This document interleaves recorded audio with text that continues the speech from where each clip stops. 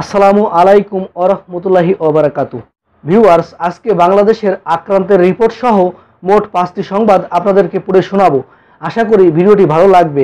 যদি ভিডিওটি ভালো লাগে, তো ভিডিওতে একটি লাইক দিবেন এবং এখনও যারা আমার চ্যানেলটিকে সাবস্ক্রাইব করে নাই, চ্যানেলটিকে সাবস্ক্রাইব করে সাথে থাকবেন, এ অনুরোধ করছি।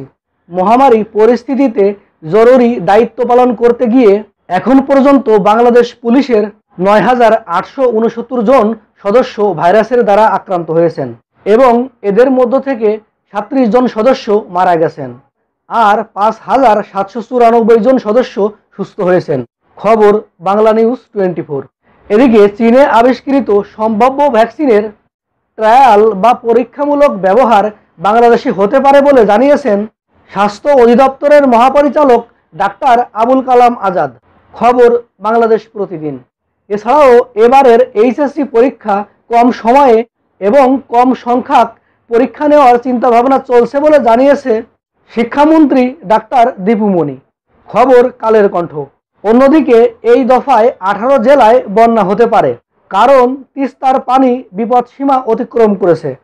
এছাড়াও পদ্মা, যমুনা, ব্রহ্মপুত্র, আত্রাই ও হাওড় এলাকার নদীগুলোর পানি বিপদ সীমা অতিক্রম করতে পারে। সব মিলিয়ে দেশের আঠারো জেলায় দুই সপ্তাহ বন্যার পানি থাকতে পারে। খবর প্রথম আলো। আজ আঠাইশ জুন, আজকে বাংলাদেশে আক্রান্ত হয়েছে তিন হাজার আটশো নয় জন। এ নিয়ে বাংলাদেশে মোট আক্রান্ত হয়েছে এক লক্ষ সাত্রিশ হাজার সাতশো সাতাশি জন। আজকে মৃত্যু হয়েছে তেতাল্লিশ জনের।